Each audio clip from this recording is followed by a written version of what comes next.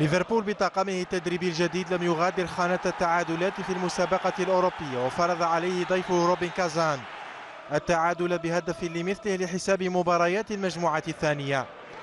الضيوف كانوا المبادرين بالتسجيل بهدف ماركو ديفيتش بعد ربع ساعة من البداية. وفي الدقيقة السادسة والثلاثين طرد زميله أولي كوزمين بتلقيه البطاقة الصفراء الثانية.